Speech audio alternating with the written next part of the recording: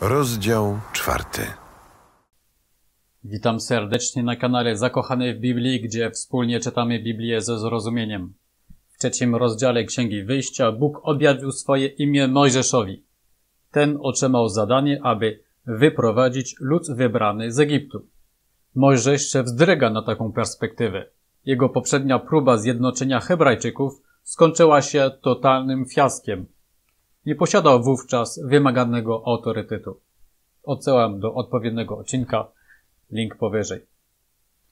Każdy prorok stoi przed tym samym problemem. Co ma zrobić, aby lud uwierzył, że miał prawdziwe objawienie, że jego słowa rzeczywiście pochodzą od Boga? Patriarchowie byli w innej sytuacji. Abraham, Izaak i Jakub mogli powołać się na swoją pozycję szefa klanu. Józef posiadał autorytet polityczny. Mojżesz tego nie miał i potrzebował znaku potwierdzającego, że jego działanie pochodzi od Boga. Bóg da mu dwa znaki potwierdzające, że jest Panem życia i śmierci. Mianowicie przemieni martwą laskę w żywego węża i żywą rękę w martwy człon. Posłuchajmy. A jeśli nie uwierzą i nie usłuchają słów moich, lecz powiedzą, że Pan nie ukazał mi się wcale, Co masz w ręku? laskę, Rzuć ją na ziemię. A on rzucił ją na ziemię i zamieniła się w węża. Mojżesz zaś uciekał przed nim. Pan powiedział wtedy do Mojżesza Wyciągnij rękę i chwyć go za ogon. i wyciągnął rękę i uchwycił go, a stał się znów laską w jego ręku. Tak uczyń, aby uwierzyli, że ukazał się Tobie Pan, Bóg ojców ich, Bóg Abrahama, Bóg Izaaka i Bóg Jakuba.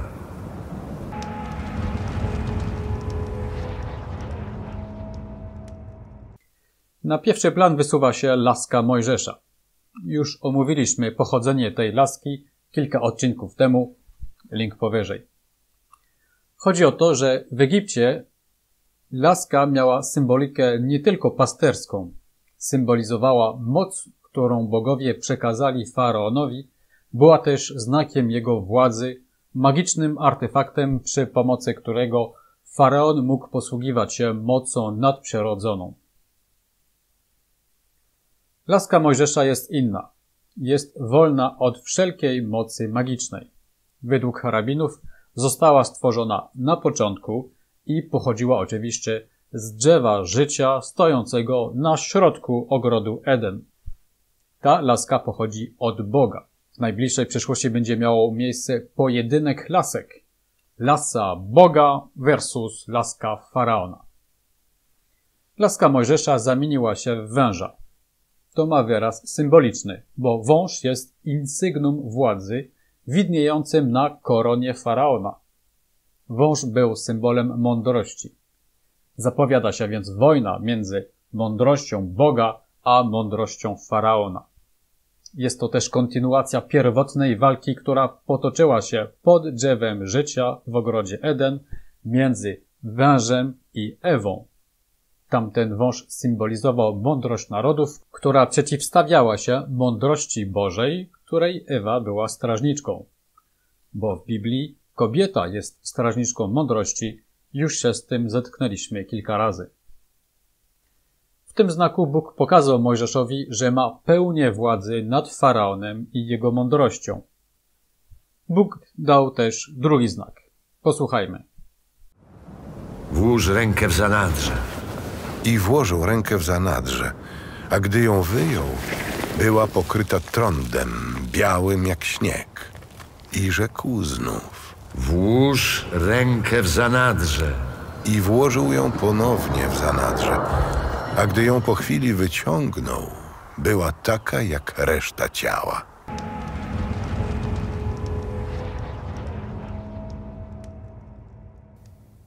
Drugi znak to znak zainfekowanej ręki. Mówię zainfekowanej, bo dzisiejszy trąd jest chorobą ściśle zdefiniowaną, podczas gdy słowo caraat określało wszelkie zakażenia skóry. W tym przypadku chodzi o jakąkolwiek infekcję, która spowodowała, że ręka Mojżesza stała się cała biała. Ten znak ma również swoją doniosłą symbolikę, bo ręka jest symbolem działania. W psalmach, gdy mowa o Bożym działaniu, mówi się o Bożej ręce. Chora ręka stanowi dla Mojżesza kres jego zdolności do działania. Kiedy ręka wraca do zdrowia, oznacza to, że jego zdolność do działania została przywrócona. W tym znaku Bóg pokazuje, że jest Panem działania Mojżesza, Panem wszelkiego działania. Człowiek nie jest marionetką Boga, ale bez Bożej pomocy człowiek nie może niczego dokonać. Wreszcie trzeci znak jest zapowiedzią przemienienia wody Nilu w krew. Posłuchaj. Tak więc, jeśli nie uwierzą i nie przyjmą wymowy pierwszego znaku, uwierzą wymowie drugiego znaku. A gdyby nie uwierzyli nawet tym dwom znakom i nie zważyli na mowę Twoją, wówczas zaczerpniesz wody z Nilu i wylejesz na suchą ziemię, a woda zaczerpnięta z Nilu stanie się krwią na ziemi.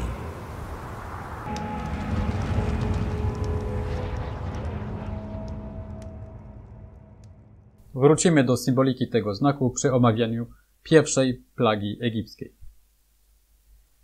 Czy te wszystkie znaki pokonały opór Mojżesza? Nie. Mojżesz wyciągnął jeszcze jeden argument. Wybacz, panie, ale ja nie jestem wymowny od wczoraj i przedwczoraj, a nawet od czasu, gdy przemawiasz do twego sługi. Ociężałe są usta moje i język mój zesztywniał. Kto dał człowiekowi usta? Kto czyni go niemym albo głuchym, widzącym albo niewidomym? Czyż nie ja, Pan?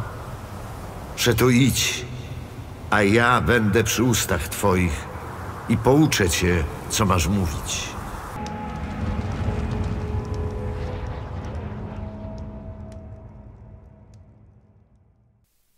Mojżesz wie, że nie ma potrzebnej elokwencji, żeby przemawiać przed faraonem.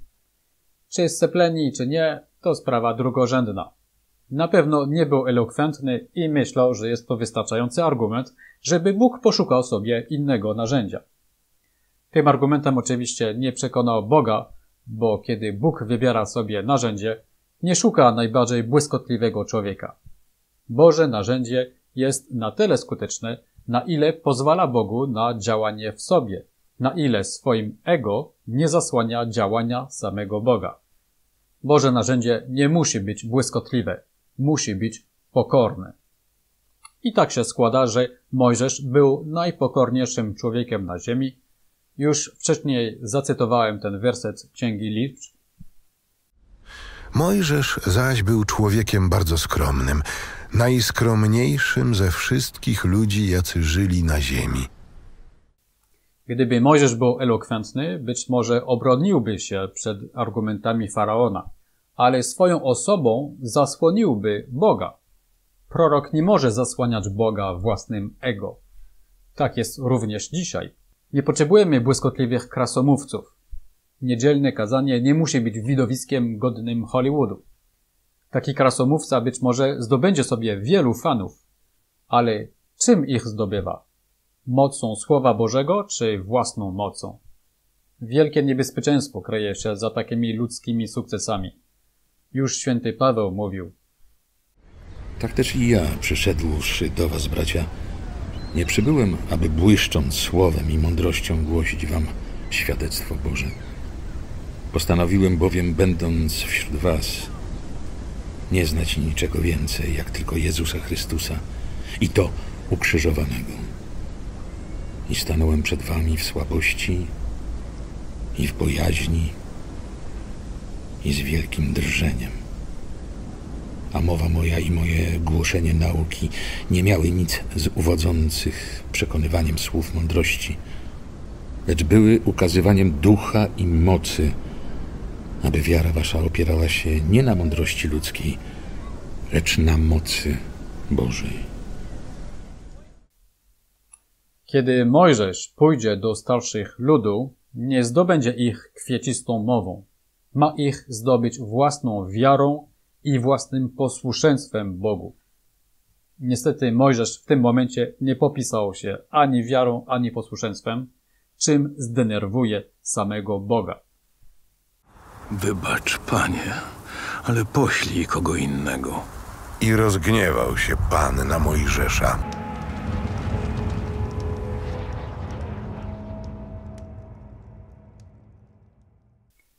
Czym Bóg się zdenerwował? Brakiem wiary Mojżesza w siebie samego. Pokora jest dobrą rzeczą, ale nie może przemienić się w nihilizm. Taki nihilizm również jest przeszkodą dla Bożych zamiarów. Brak wiary w siebie jest przejawem braku wiary w Boga. Podsumowując cały ten epizod, można powiedzieć, że choć Mojżesz stał się pokorny, brakuje mu jeszcze wiary i posłuszeństwa.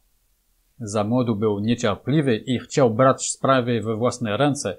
Był gwałtowny, chciał wyprzedzać Boga. Na starość stał się opieszały. Nie chce mu się iść w Bożym tempie. Opiera się. Jak ważne jest to, abyśmy wypełniali tylko wolę Bożą i całą wolę Bożą. Jedynym doskonałym przykładem tego postępowania jest osoba Jezusa Chrystusa, który przez 30 lat prowadził zwyczajne życie wypełnione pracą, modlitwą i studiowaniem Pisma Świętego. Tylko przez ostatnie trzy lata głosił dobrą nowinę, po czym, wypełniwszy do końca całą wolę Bożą, wycofał się po to, aby ustąpić miejsce Duchowi Świętemu. Święty Piotr będzie próbował zmienić bieg wydarzeń i będzie za to ostro upomniany. Usłyszy od Jezusa: Zejdź mi z oczu, szatanie. A dosłownie: Idź za mną, nie wyprzedzaj mnie. Nie wystarczy chodzić Bożymi ścieżkami. Trzeba również iść w Bożym tempie. Ani za szybko, ani za wolno. Sami wiemy, jak bardzo jest to trudne, a jednak jest to tak ważne, że można w tej materii zdenerwować samego Boga. Do usłyszenia.